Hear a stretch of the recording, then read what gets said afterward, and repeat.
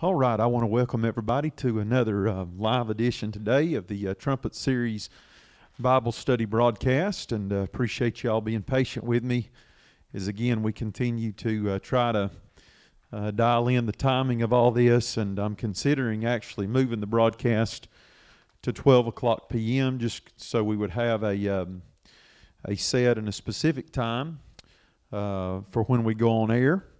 But again, we're just going to mind the Lord, see what He'd have us to do. And I'm getting a little out of my comfort zone this morning, or today, so to speak. Uh, and um, I really been fighting the Lord. Didn't want to do this because I love to sing. Don't get me wrong, but um, I don't consider singing to be my number one gift or talent. But that's not what it's about. So we're going to try to uh, do these broadcasts and, and incorporate a little bit of music along the way. And you might have to give me a broadcast or two to get it dialed in um, to where the uh, piano and the um, vocals uh, don't override itself. But um, again, uh, God give me a, a song that uh, means a lot to me. And it's all about Jesus, and that's what this broadcast is. It's all about the Lord. So I hope you'll find this um, to be a blessing to you today.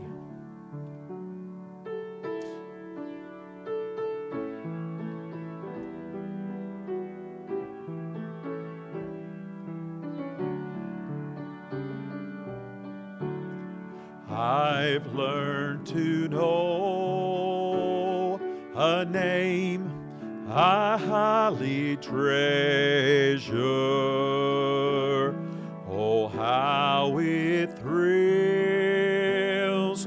Spirit through and through. Oh, precious name, beyond degree and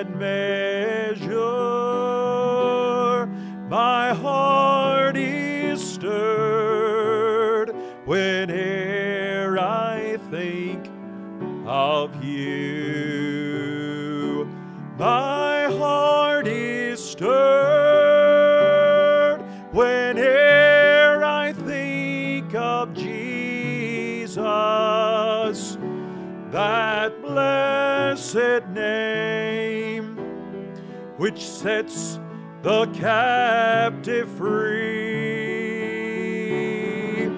The only name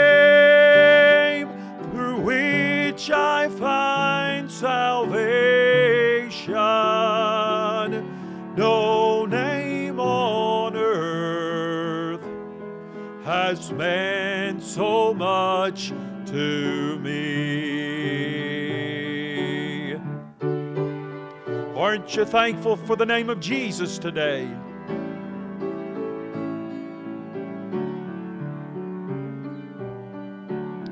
That name brings gladness to a soul in sorrow. It makes life shadows and its clouds depart. Strength in weakness for today, tomorrow. That name brings healing for an aching heart. I like this. That name still lives and will live on forever. Kings and kingdoms will forgotten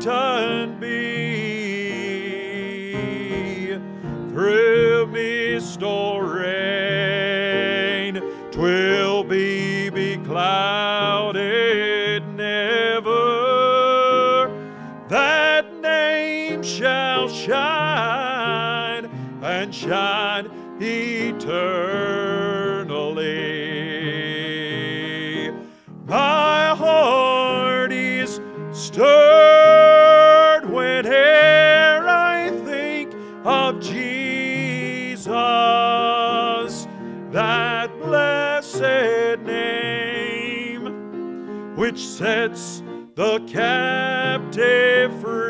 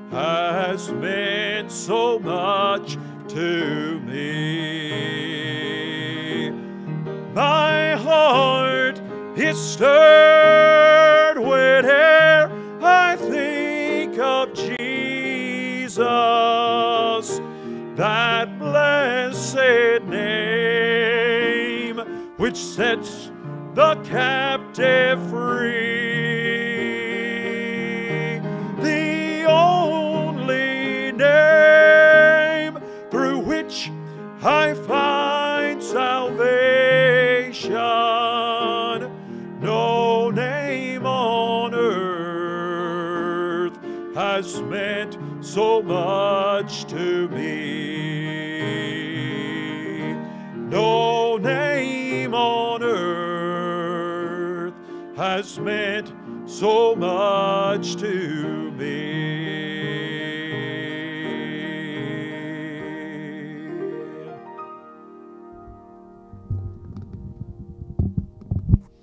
Amen. Praise God this morning.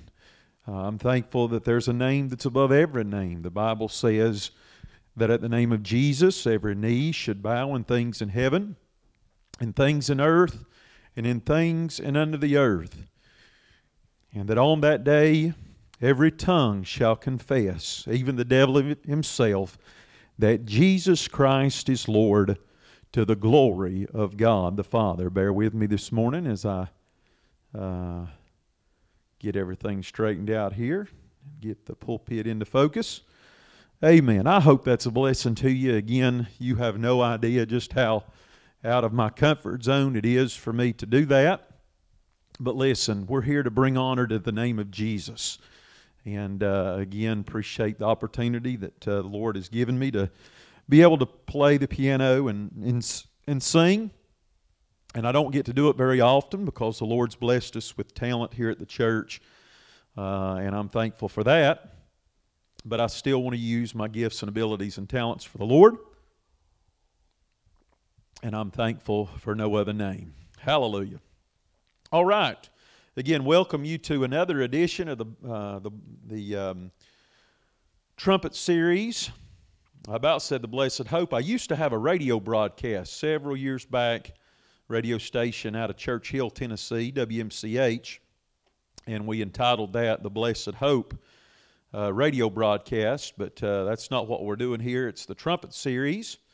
Amen. But I am thankful for the blessed hope. Amen. And one day that trumpet's going to sound, and we're going to uh, go up to heaven uh, and meet our Lord. The dead in Christ shall rise, and we're going to be with Him forever and ever. Hallelujah. Romans chapter 1 today is where we'll be at again um, uh, on this uh, Wednesday, October the 13th, 2021. We're coming to you live from the United Baptist Church. Um, auditorium. And uh, again, moving right along rapidly through the month of October. But uh, this is another day the Lord's made, and let us rejoice and be glad in it.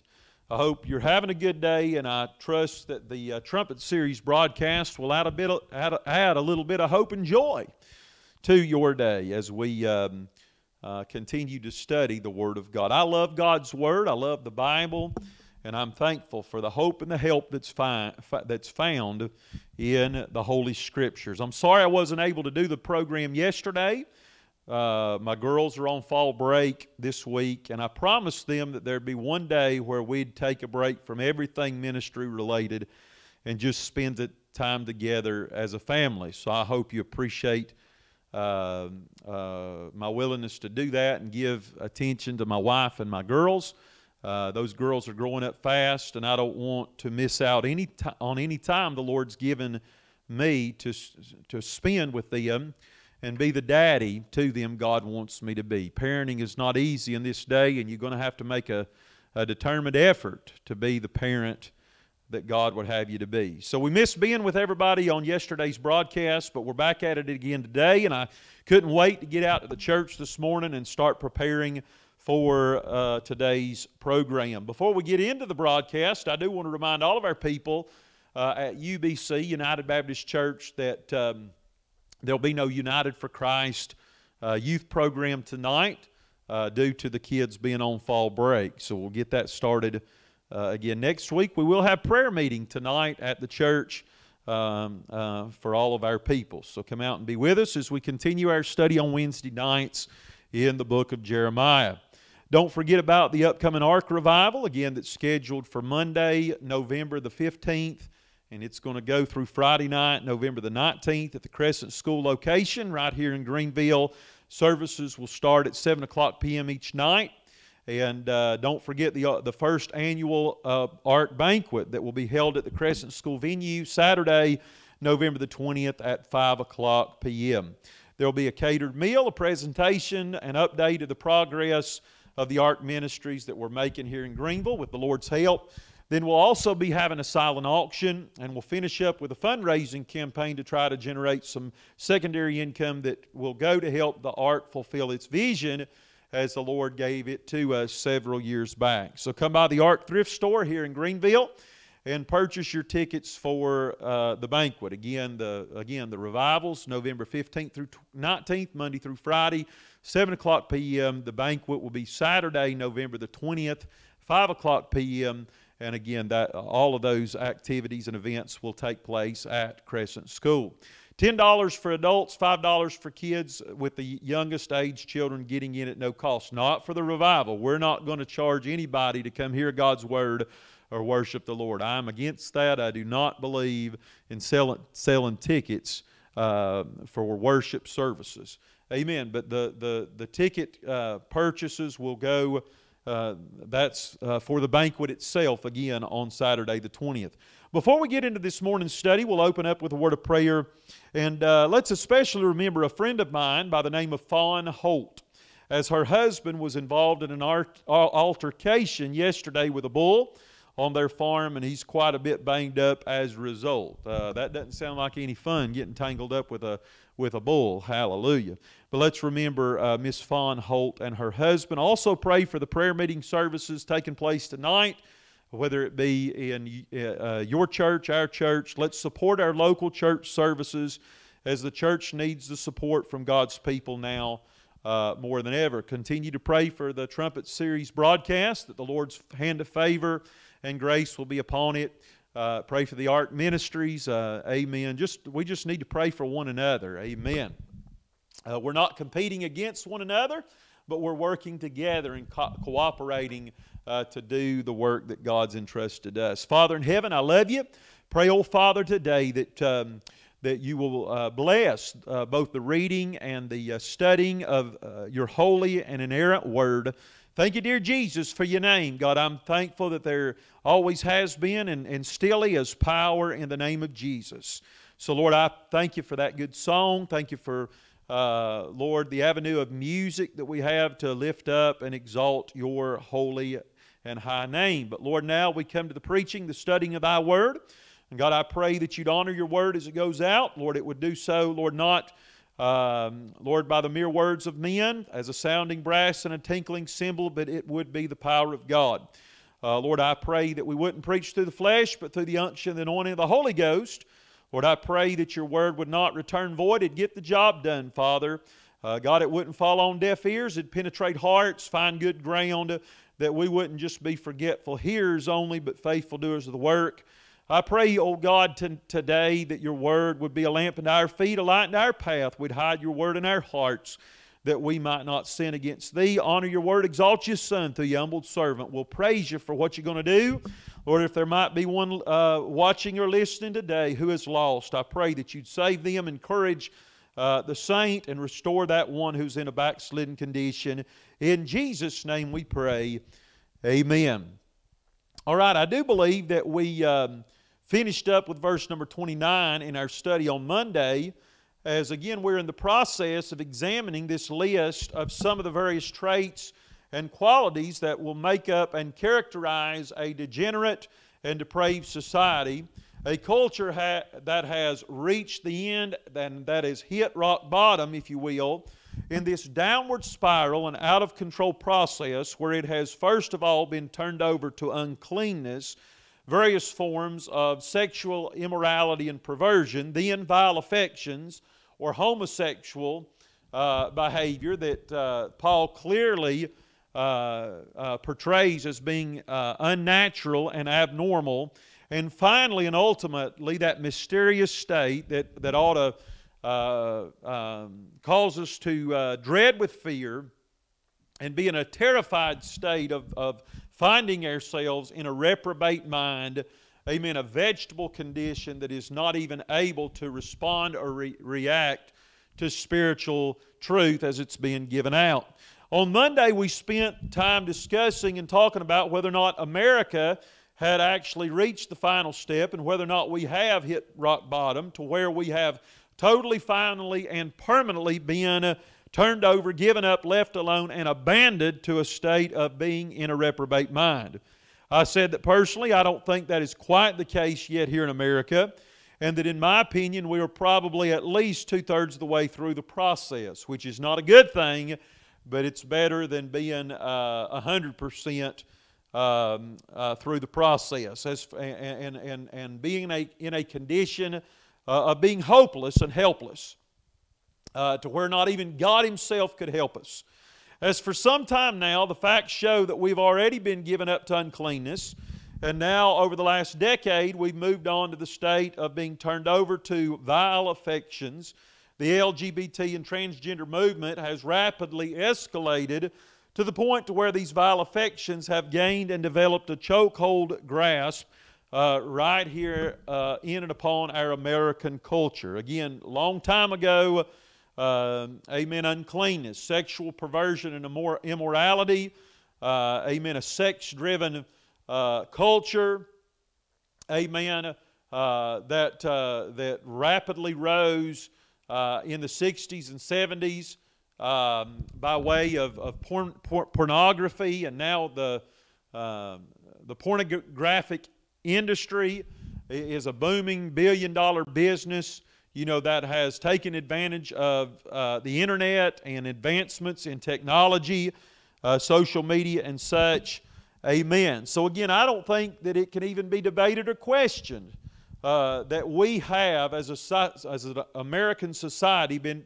turned over to uncleanness as well as vile affections. But positively, positively speaking, if we're only two thirds of the way through the process, then, then to a certain extent, there's still hope for a change, of course, and a reverse in the downward direction and out of control spiral we're currently on. But negatively speaking, uh, it means that as bad as things are right now, if something doesn't change, as hard as it is for us to fathom or imagine, it's only going to get a whole lot worse uh, than uh, in America before it gets any better.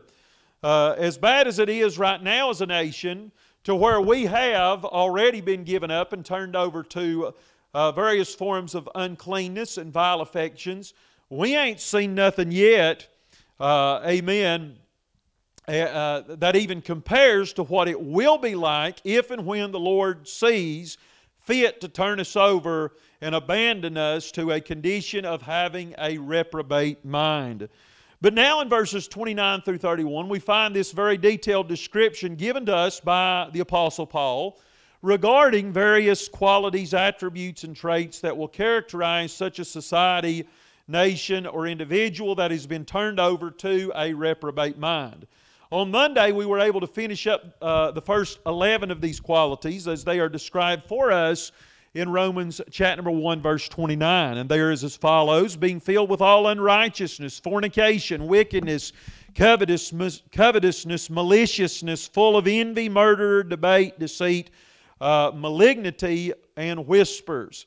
In that study, I told you that so many of these attributes have to do with man's attitude and actions towards his fellow human beings. And how that if man is not careful, we will undermine and destroy ourselves by doing away with and ridding ourselves of other human beings that we are dependent upon for our own survival and well being. Again, man was not created to live independent or isolated from one another. That's why community, uh, amen, and cooperation uh, in and amongst one another is so important. We are to depend upon each other uh, for help, and, and we are to consider um, the well being of one another just as much as we consider ourselves and, and our own well being, because sooner or later uh, we're going to need one another, so we better not undermine and weaken and, and uh, destroy our fellow man uh, because, uh, in essence, when we do so, we are guilty of biting off the hand that feeds us.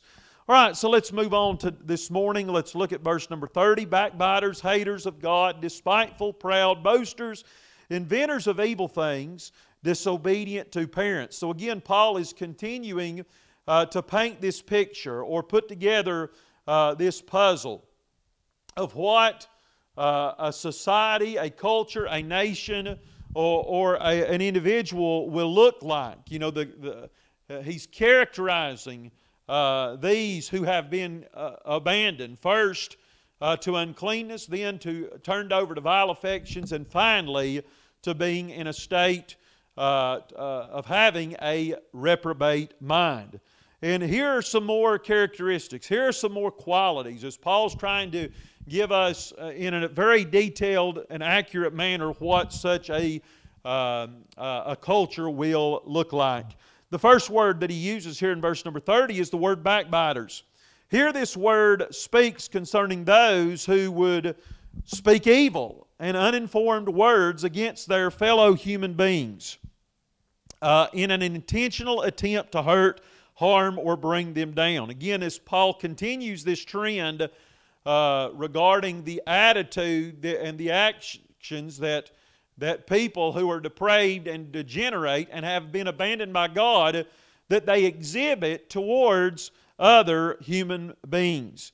You know, again, that we're not trying to help one another, we're not trying to build one another up uh, or edify uh, our fellow human beings, but we're trying to hurt and to harm and bring them down. And the difference here between someone we might refer to as a backstabber, and we all know what a backstabber is, but now Paul's talking about a backbiter. The difference between a backstabber and a backbiter is someone who does evil things to another person behind their back. That's a backstabber.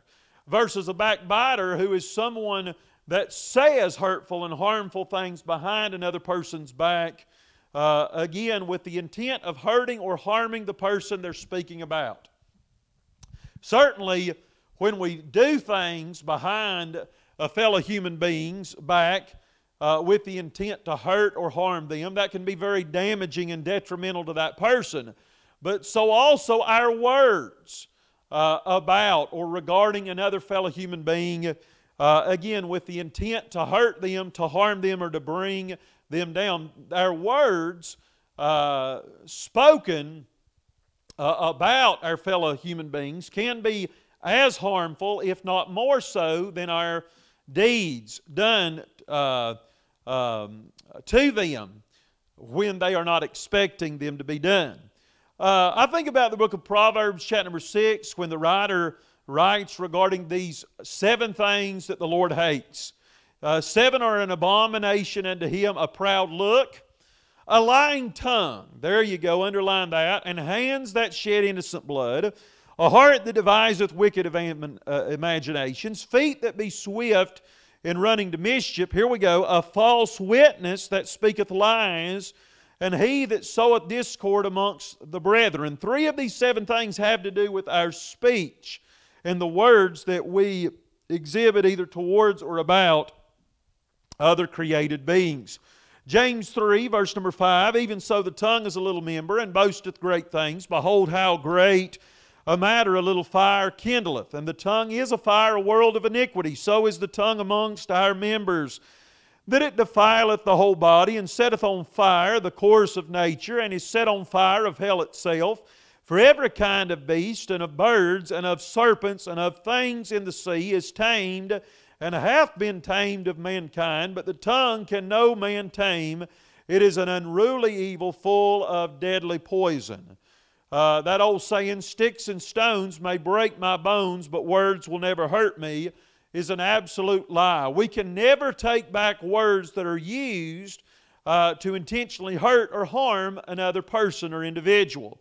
God forbid that we would ever intentionally use the power of our tongue to bring hurt or harm to our fellow uh, human beings. And you know, I think we're all guilty of accidentally using our words and the power of the tongue to bring harm and hurt to other people. And you know, uh, it's one thing to do that accidentally or unintentionally, but it's another matter altogether to do so with the intent and the desire. Uh, amen. Uh, amen. In, in, other words, the things we say about people uh, and the words we use, uh, many times deceitfully and, in a lying manner, we're saying things about other people uh, with malicious intent. In other words, words that are designed to hurt to harm or to bring down uh, other people. I don't believe Christians, uh, you know, will do that. Friend, I'm telling you, if you say things and speak words with malicious intent, you know, with the desire, intentional desire to hurt other people, especially other people who are saved, those of whom you consider to be your brother or sister in Christ, friend, I believe I'd check myself to see whether or not I'd truly been born again because it's not according to the nature of a Christian to try to intentionally hurt or harm other people. Don't get me wrong, we all do it unintentionally or accidentally, but to do to say something or to speak words uh, with malicious uh, intent, uh, amen, with the intent to hurt or harm my fellow human being, friend, I just don't believe Christians uh, should or will do such a thing. Matthew 12, 33, Jesus said, Either make the tree good and his fruit good, fruit good, or else make the tree corrupt and his fruit corrupt. For the tree is known by his fruit, O generation of vipers. How can ye, being evil, speak good things? For out of the abundance of the heart the mouth speaketh. A good man out of the good treasure of the heart bringeth forth good things, and an evil man out of the evil treasure bringeth forth evil things. But I say unto you that every idle word that men shall speak, they shall give an account therefore thereof in the day of judgment. For by the words thou shalt be justified, and by thy words thou shalt be condemned. You think about that, friend. One day, especially if you're not saved, you will be, you will be held accountable by God for every idle word that comes uh, out of and is spoken out of your mouth and by way of, the, of your vocabulary. Uh, wow. Uh, you know, we speak, we human beings, we people speak too, way too many idle words. Words that, that, in other words, we say things we don't mean, we don't really mean. But you need to be careful about that. You know, we need to let our yea be yea and our nay be nay. In other words, if we don't mean it, we ought not say it. Uh, you know, uh, we're all guilty of using sarcastic words, and I'm especially guilty of that. In other words, saying things that I really don't mean, but I naturally assume that somebody's going to know that I don't really mean the things that I'm saying. And, and, and, you know, I've unintentionally hurt people's feelings by, by, by saying things in a sarcastic uh, manner.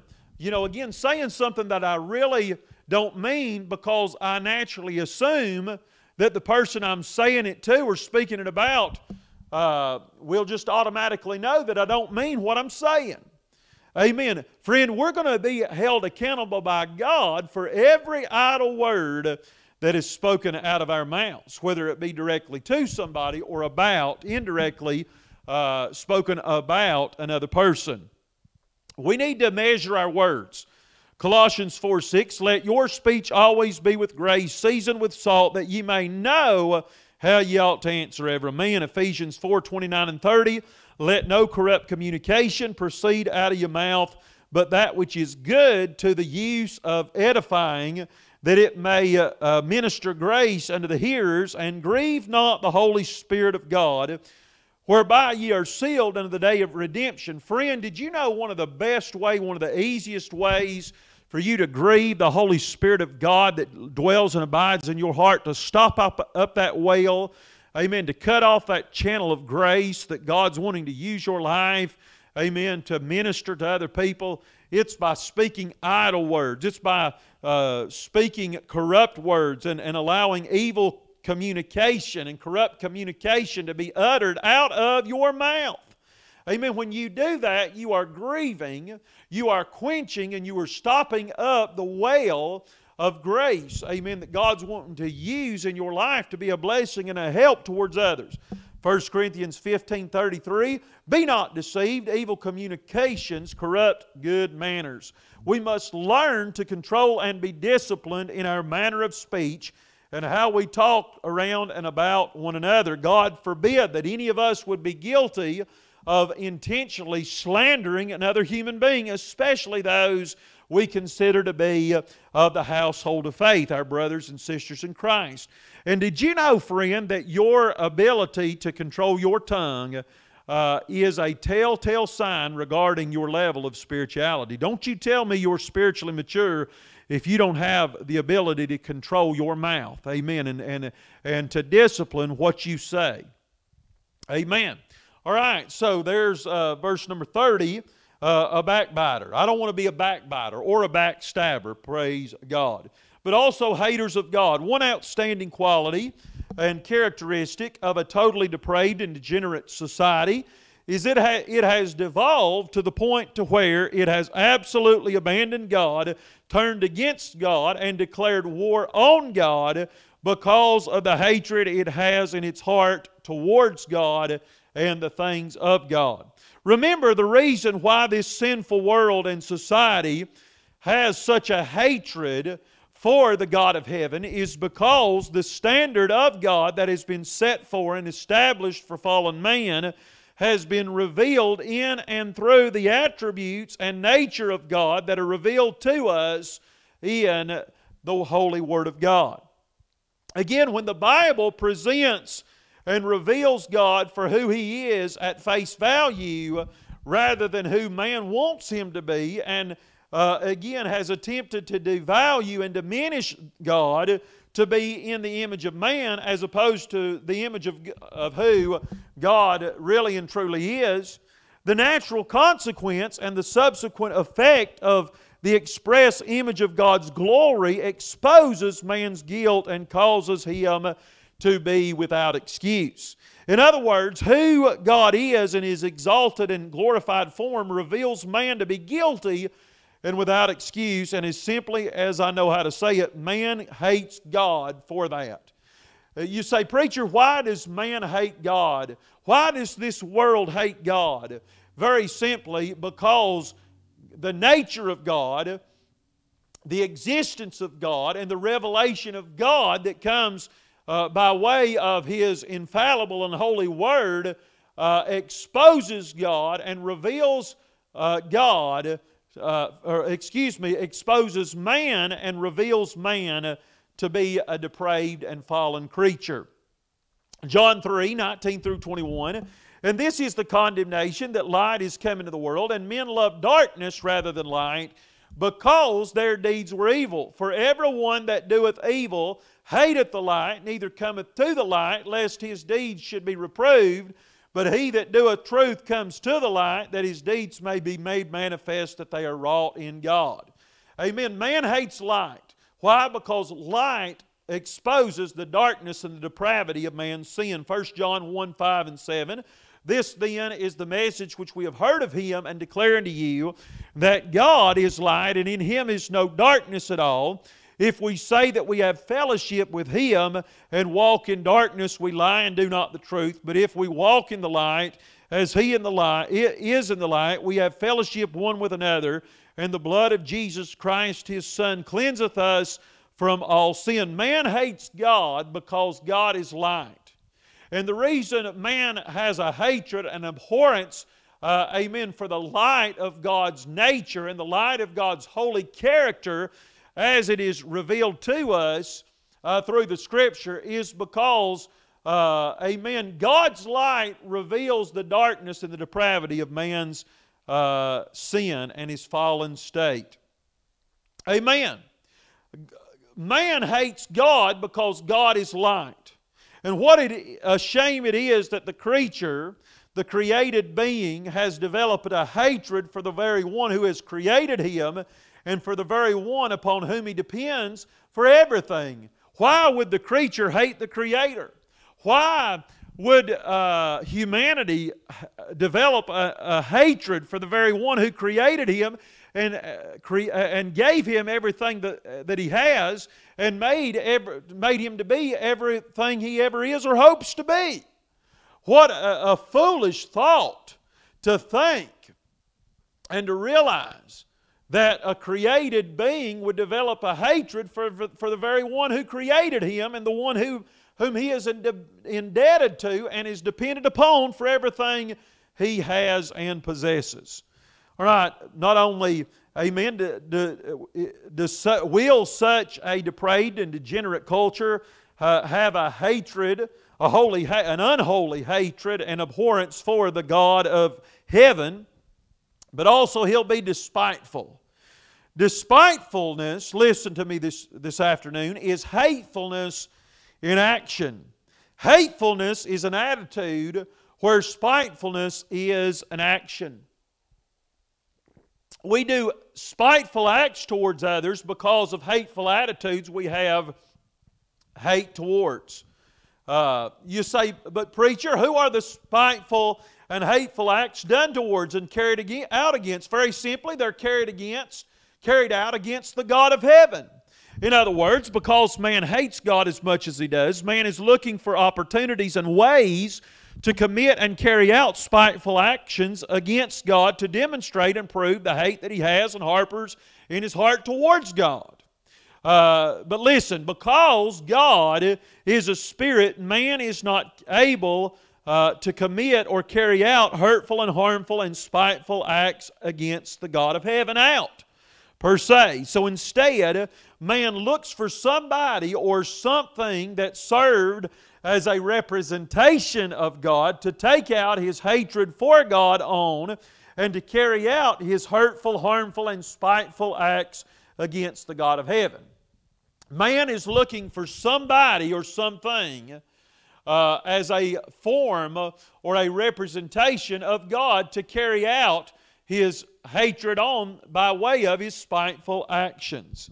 Well, you know who and what that is? Well, it's the church, and it is the people of God known and referred to as Christians. Jesus warned his disciples of this when he told them that if they hated him, if the world hated him, the world would also hate and despise the ones who represent, represent his name and nature. Friend, make no mistake about it. If you uh, uh, adhere to God, if you claim to be a representative of God, if you uh, refer your, to yourself as being a Christian or a part of the church of the living God, the world is not your friend, the world is your enemy.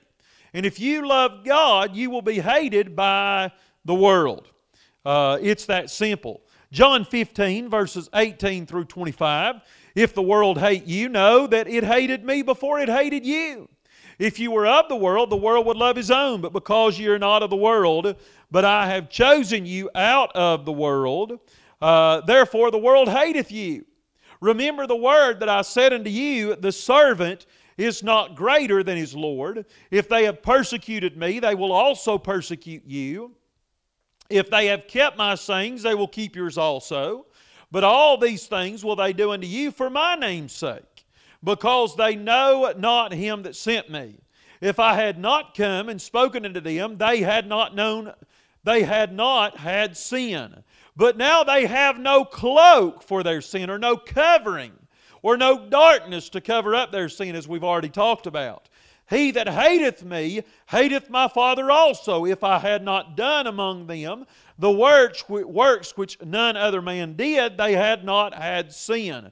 But now have they had, excuse me, but now have they both seen and hated both me and my Father. But this cometh to pass that the word might be fulfilled that is written in their law. They hated me without a cause.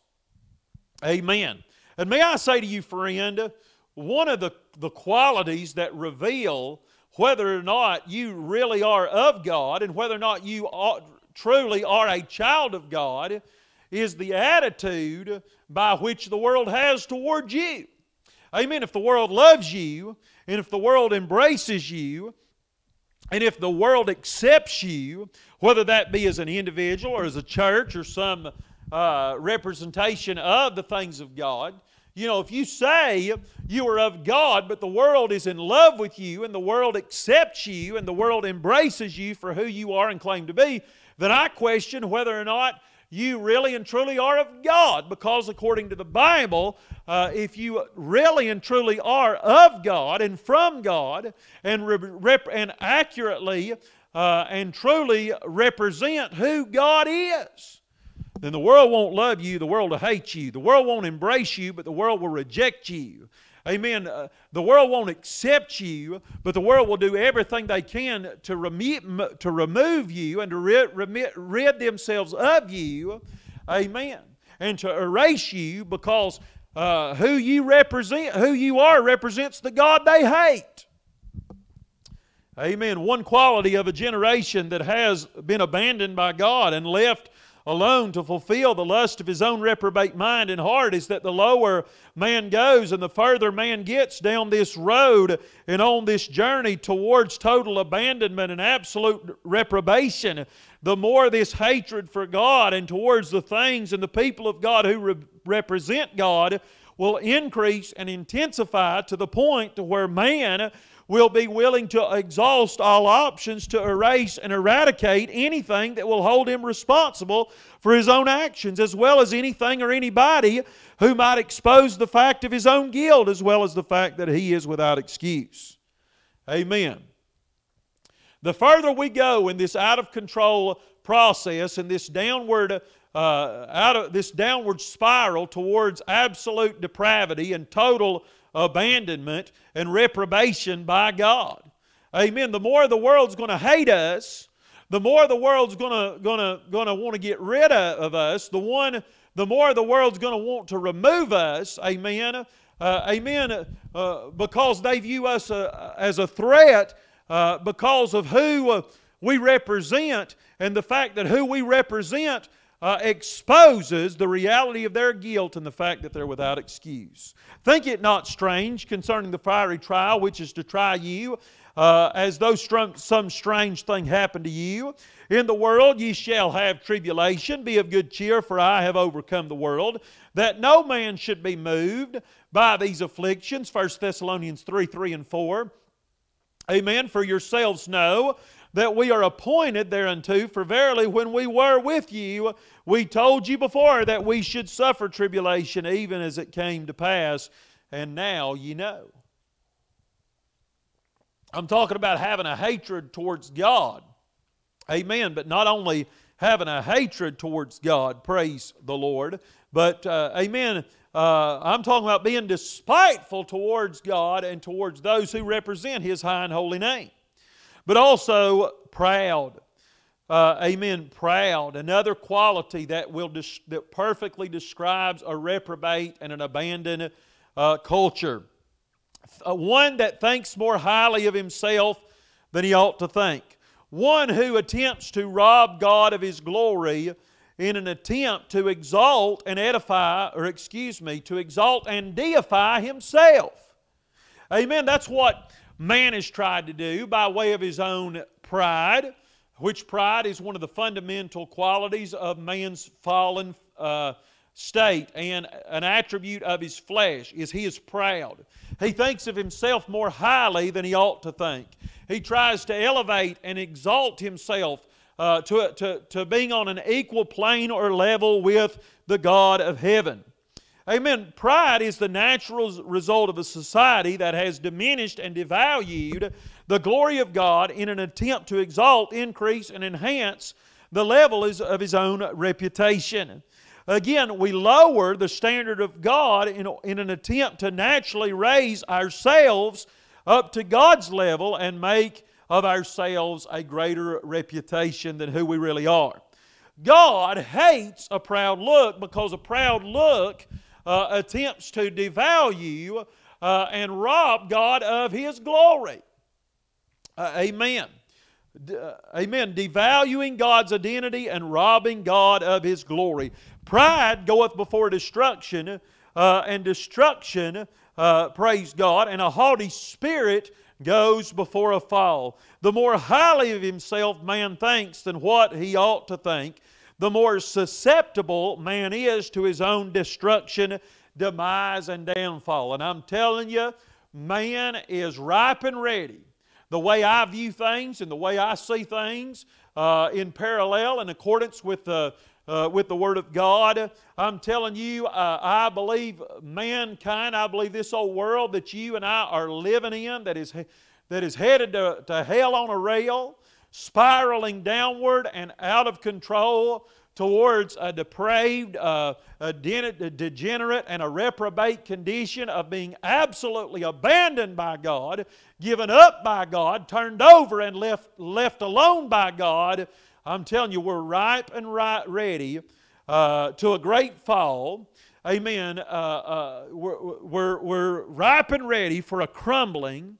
Amen. Not one that's brought on by God, but one that's brought on by ourselves because we think we can do this thing eh, eh, and live apart from and away from the God of heaven.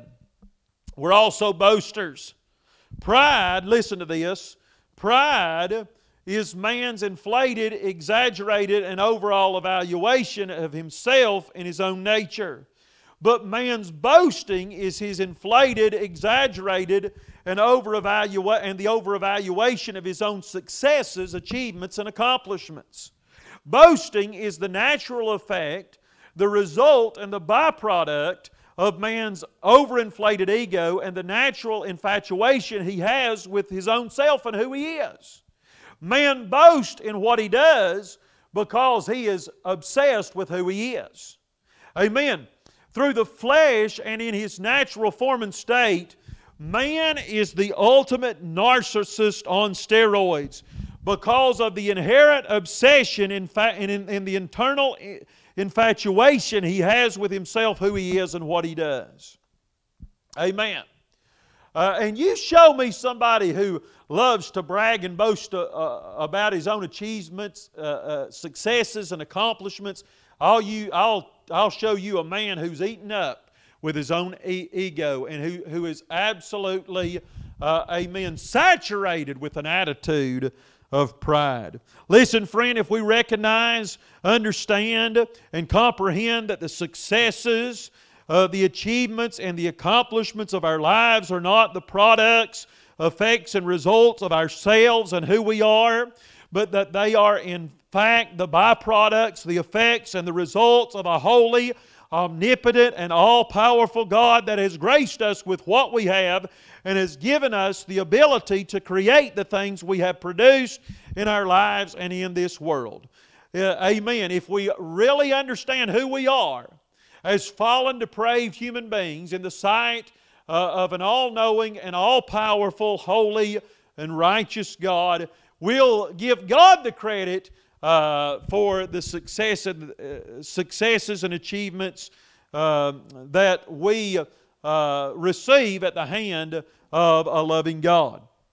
Man cannot boast or take credit for something he didn't do or create, but something that somebody else gave him the ability and showed him how to do. James 1:17 Every good gift and every perfect gift is from above and cometh down from the Father of lights, with whom is no variableness, neither shadow of turning. In our world today, man likes to present himself uh, as somebody who is this self made man, that he lifts him up, himself up by his own bootstraps. But I'm telling you, friend, we cannot uh, take credit for anything that we do, anything we achieve, anything we accomplish, or any success, amen, that we may obtain in this life. But, but it's all byproducts of the God of heaven that has freely and graciously given these things to us. Uh, or as Paul said, I am who I am, and I have what I have, and I have achieved or accomplished the things that I have accomplished, uh, not by myself or by way of my own strength or ability. Amen. But it's by the grace of God. Acts 17, 22 through 30. Listen to this. Then Paul, boy, I'm having a time studying the Word of God, aren't you? Amen. Then Paul stood in the midst of Mars Hill and said, Ye men of Athens, I perceive that in all things ye are too superstitious. Somebody say amen right there. We are too in this current uh, fallen uh, generation and society. For as I passed by and beheld your devotions, I found an altar with this inscription to the unknown God, whom therefore ye ignorantly worship, him I declare unto you. God, uh, amen, not many gods, but one God, not a pluralistic view of God, but a monotheistic God, one God. Uh, therefore ye ignorantly worship, him declare I unto you, God that made the world and all things therein, seeing that He is Lord of heaven and earth, dwelleth not in temples made with hands, neither is worshipped with man's hands, as though He needeth anything, seeing He is the one that giveth to all life and breath and all things, and hath made of one blood all nations of men for to dwell on the face of the earth, and hath determined the times before appointed and the boundaries of their habitation. Again, He's the creator, we're the creature.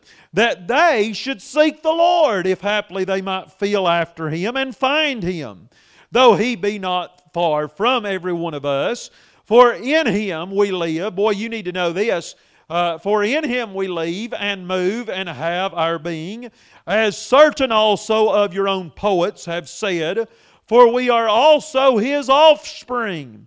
For as much then as we are the offspring of God, we ought not to think that the Godhead is like unto gold or silver or stones, graven by art and man's device and the times of this ignorance God winked at, but now commandeth all men everywhere to repent.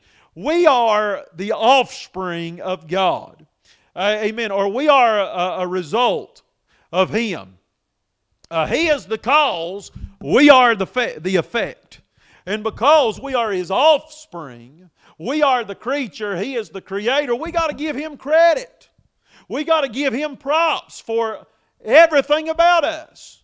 Again, whether it be our identity or whether it be uh, our successes and achievements, it's not because of anything we've done. It's not because of us. It's in spite of us, and it all exists and occurs uh, and results because of how great, how wonderful, and how marvelous it is. So, God forbid that you and I, as created beings, would try to take credit and to rob God uh, of His glory for who He is and what He has done for us, in us, with us, and through us. We can't brag, boast, take pride in, or take credit for anything we do because everything we are, everything we have, and everything we possess uh, are byproducts of the God who gave us the ability and the know how to do, create, or produce it. Friend, if you preach, it's because God.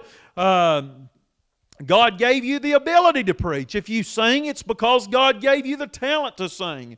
If you're a builder or a constructor or a mechanic or an artist, if you're amen, if you're a speaker, if you're a writer, amen, if you are if you if you're a banker, if you're good with figures, amen, uh, amen, if you're a philosopher, if you're intelligent, uh, amen, no matter uh, who you are or what you do, it's not because you're some great thing to be worshiped, idolized, uh, magnified, and glorified uh, for your nature or uh, identity, accomplishments, successes, or achievements.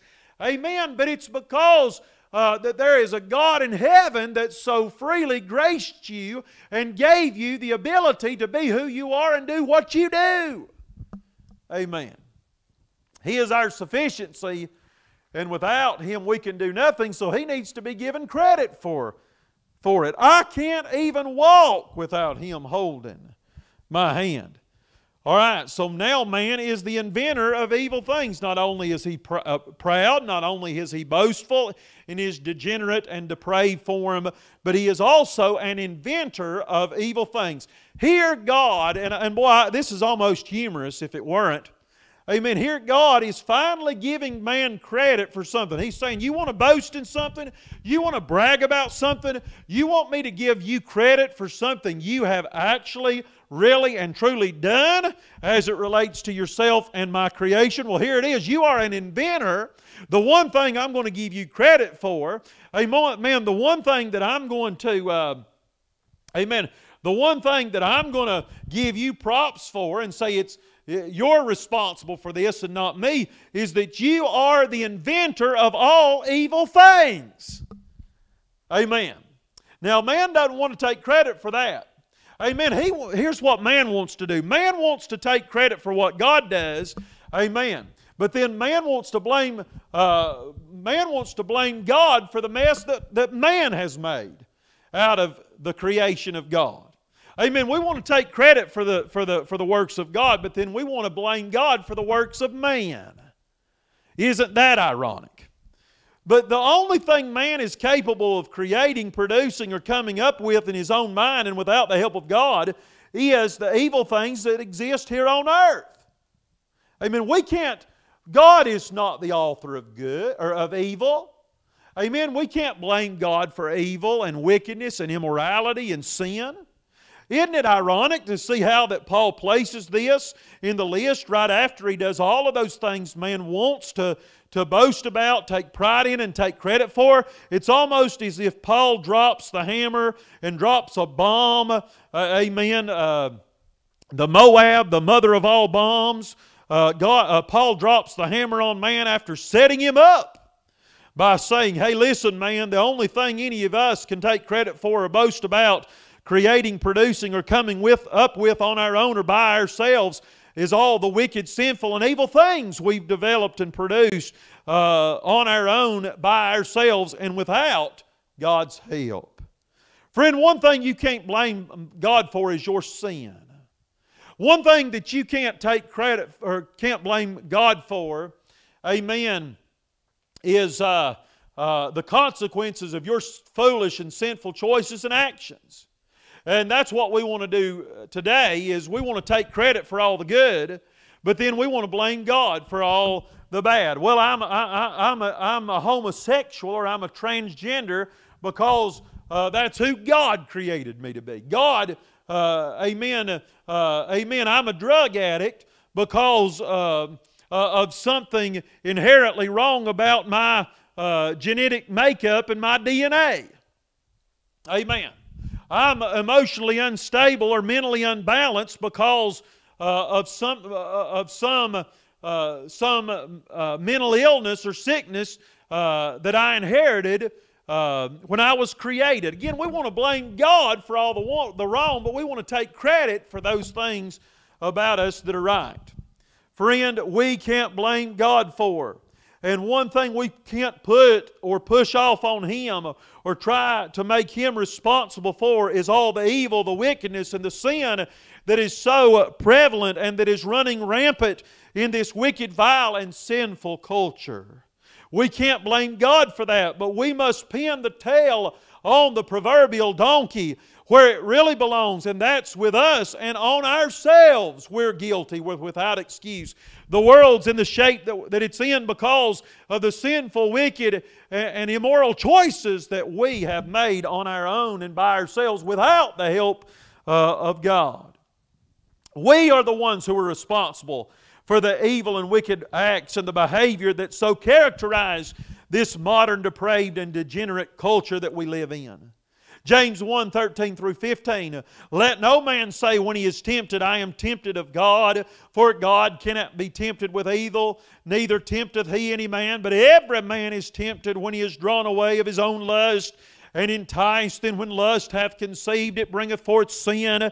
And when sin is finished, it brings forth death in the end, when it's all said and done, the only thing that man will be able to take pride in or credit for is his own ruin, his own death, his own destruction, and his own demise that came about because he chose to refuse, reject, and rebel against the very one who gave him everything he has and the one who has made him to whom to, the, to be the one he is.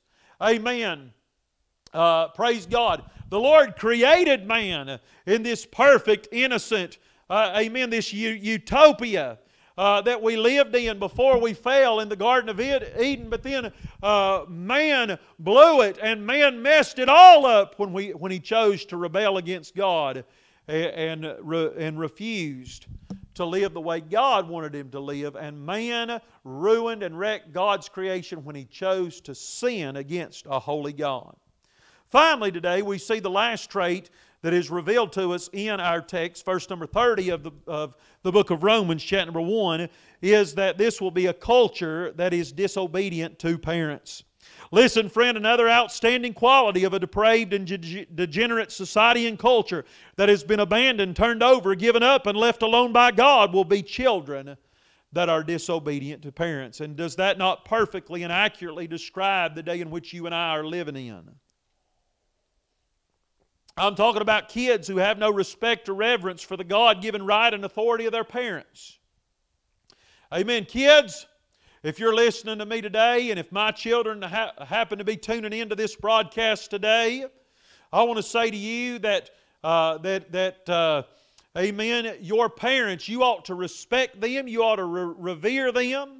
And you ought to obey them if for no other reason than because of the authority, the, the God ordained authority, and the position that they have been placed in over your life. Amen. Now, can I say that in many cases, uh, children disobey and are dis- disrespectful to their parents because parents have earned the disrespect and disobedience of their children. That doesn't excuse the child's behavior because, children, I'm telling you, uh, if for no other reason, you should honor, respect, and obey your parents because uh, God uh, ordained them to be the authority of your life while you live in their home and under their roof. Children, obey your parents in the Lord, for this is right. Honor your father and mother, that your days may be long upon the earth. But one reason why children have such a disregard, disrespect, and a disobedient mindset towards parental authority and over their lives is because of how bad of an influence the parents will have on them and how bad of an example modern day moms and dads will set before them in this day we live in. Once again, it's hard to respect somebody who behaves in an immoral, in a perverted, a degenerate, and depraved fashion. And in essence, it all goes back to the breakdown and the corruption of the family unit. And the reason children misbehave and act like the heathens and the rebels they so often are is in our day is because of the influence and the example that's been set for them in the home. And parents, you're not going to want to hear this. You're not going to like this. This hurts me and it cuts me as much as it does from the pulpit on down to the pew. Children, listen, are so very often a reflection and a mirror image of the lives, the actions, the attitudes, and the behavior of the parental role models they have to watch and witness uh, at home. Amen. Mom and dad, do you really want to see and know who you are? Then just look at your kids. And most of the time, you'll find a mirror image of who they see and believe you to be. Uh, most of the time, kids want to turn out just like their parents. They have a desire just to, to be just like mom and dad. So don't you blame or get mad at your kids for playing out and living out your life through themselves and in their own lives. Because on most occasions, don't get me wrong, there are exceptions to the rule, but most of the time, all kids are doing is living out and playing out the person you taught them to be by the life you've lived in front of him. And a lot of times, we parents, we tell our kids one thing and we uh, we teach them to do uh, one thing, but then we live an entirely different, hypocritical lifestyle in front of them. Don't you tell your kids to do one thing and then expect them to, to do another. I promise you, what you do uh, will speak so loudly that they won't even, even be able to hear what you say and what comes out of your mouth. Children are a reflection, a demonstration, and, a, and an illustration of the lives of their parents. And such will be the case in a depraved culture to where, uh, in a degenerate society, to where kids and children will lose all respect and reverence for their parents because they aren't able to know or find anything or anyone at home to respect. Can I say to you today, respect is earned, not given in a natural former state. Now, again, that doesn't justify the disobedience of children. But I'm telling you, parents, let's not get mad at, at, at little Susie or little Joey because they uh, do the things they do and act the way they act and behave the way they behave, when in reality, all, all they're doing is living out the life they, they watch you live. And, and a lot of times they're just doing uh, uh, the things they see you do. And they are just uh, exhibiting the attitude they see and they perceive you to have towards them in your own life. So if you're going to get uh, mad at anybody, uh, when your kids and your children act like heathens, why don't you get mad at yourself because they're just living their li- your life out in and through their own lives? Amen. Ouch, that's tough preaching, isn't it? It's hard for us to receive, but it's what we need to hear. Amen. If we want our kids to act right, to live right, to have the right attitude, to do the right things, then we better show them uh, how to do so through the attitudes that we portray in front of them and the things that we do. Amen. And the actions and the behavior that we exhibit in front of our offspring on a daily basis. You know, the, this is how God designed it, and that is that the creature ought to live like the Creator. Amen. God designed you to live in His image. And again, naturally speaking, and uh, amen, amen uh, uh, as far as uh, the way He designed His creature to operate, it is that your offspring ought to be a mirror image and a reflection of what they see played out before them in and through the lives you live in front of them. All right, I got to quit. Uh, again, what an informative and what a um, what an enlightening uh, broadcast it's been, not through my words, but through the perfect Word of God as it is revealed to us by way of our Bibles. Amen. Tune in tomorrow. I encourage you to tune in tomorrow. Amen. As we come closer, hopefully tomorrow we'll look at verse 31. And the desire is, uh, and, the, and the goal is that before, by the time we finish up this week on Friday, we will have concluded our study of chapter number one in the book of Romans. You say, what does that mean? Well, that means we'll get to move on into chapter number two. And if we get to verse number 32 on Friday, you do not want to miss out on Friday's edition of the Trumpet Series Bible Study. Why? Because I'm telling you, uh, verse number 32 is one of the most heavy and most powerful verses of the entire chapter as it uh, describes in a very transparent way what uh, an absolute degenerate and depraved culture that has been given up, turned over, left alone, and abandoned by God uh, as being reprobate in the sight of God. What it really and truly looks like, it's described for us in verse number 32. Amen. Tune in tomorrow and tune in again Friday, again, as we finish up our study of chat number one in the book of Romans on the trumpet series uh, Bible study broadcast. Let's pray. Father in heaven, I love you. Thank you for another opportunity to come uh, today to this audience. Uh, by way of this live stream Bible study trumpet series broadcast. I pray that your word has been a help and a blessing to the viewers and the listeners. Lord, I'm thank you for the song that we sung at the beginning of the broadcast, which tells us, Lord, it's all about Jesus. Lord, you said that if you be lifted up, you'd draw all men unto yourself. Lord, I pray that you'd do that. God, don't leave us hanging. Don't hang us out to dry. Do for us what you said you, you do. And Lord, I know you'll do that. you are you're, you're a God that, that's in the business of keeping your word. So, Lord, help us to make sure that in everything we do, whether it be through our singing, whether it be through our praying, or even our preaching and teaching of your word by way of the Trumpet Series Bible Study broadcast, I pray that we would make sure that you increase and that we decrease. We're not even worthy uh, to, to unlatch your shoes, latch it. God, it's all about you. It's not about us. Help us to magnify and exalt the name of Jesus, to make of ourselves no reputation. Lord, that you might be exalted in all things whatsoever we do.